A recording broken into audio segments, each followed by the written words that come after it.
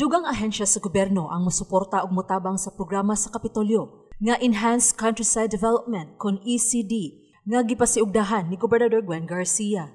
Ang Department of Agrarian Reform sa Central Visayas mipadayag sa ilang interes nga muabag pinaagi sa pakigtambayayong sa mga mag-uuma nga nakabenepisyo ubos sa Comprehensive Agrarian Reform Program kun CARP nga naawardan og mga yuta.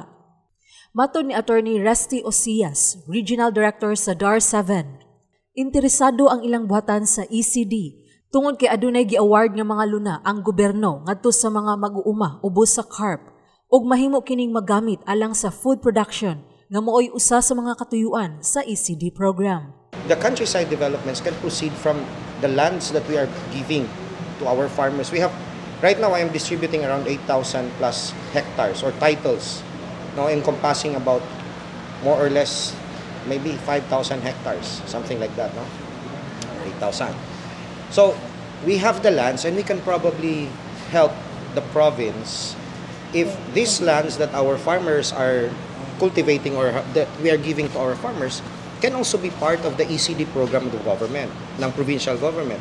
Ato sa ilang pakigtagbo sa gobernador sa buhatan ni ini ni adtong Mayo 19, Gipresentar usab ni Garcia ngadto sa mga opisyal sa DAR 7 ang mga programa sa Kapitolyo pagtabang sa katawhan nga apektado sa COVID-19 pandemic.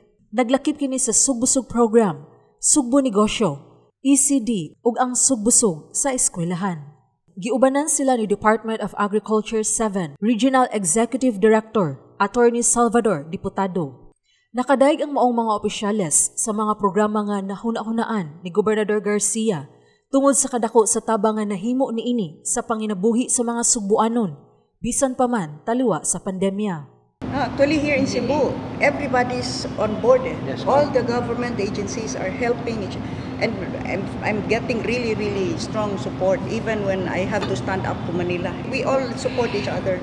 I'm very, very much willing din ma'am to support. Kasi sabi ko nga, at the end of the day, we have the same vision. So why not work together towards the, achieving that vision? Si Attorney Osias nagkanayon nga iya kini ipaabot ngadto kang DAR Secretary, Brother Attorney John Castriciones, kinsa gikatakda nga mobisita sa Sugbo karong sunod buwan. Alang sa posible nga pagpinirmahay og kasabutan tali sa Kapitolyo kabahin sa ECD ug ila usab tun-an kung asang dapita musud ang DAR 7 sa maong programa. Actually, I'm going to study this, the memorandum of agreement that has been given to me, and I will be looking at where we can or how we can possibly mirror this, no? Paano namin ma maipapasok yung aming opisina dito at yung um, yung mga visions ng opisina namin so we can enter into the same program with the provincial government for the on the part of DAR. Niadtong Marso ning tuiga, gilusad sa Kapitolyo ang ECD program didto sa Lamak, lungsod sa Pinamungahan. Diin nagpinirmahay og Memorandum of Agreement kon MOA ang kagamhanan sa lalawigan sa Sugbo ug ang tulo ka government banks nga kaabag sa Kapitolyo sa pagpatuman sa ECD. Kini mao ang Land Bank of the Philippines, Development Bank of the Philippines ug Philippine Veterans Bank. Sheila Gravines, Balita sa Sugbo.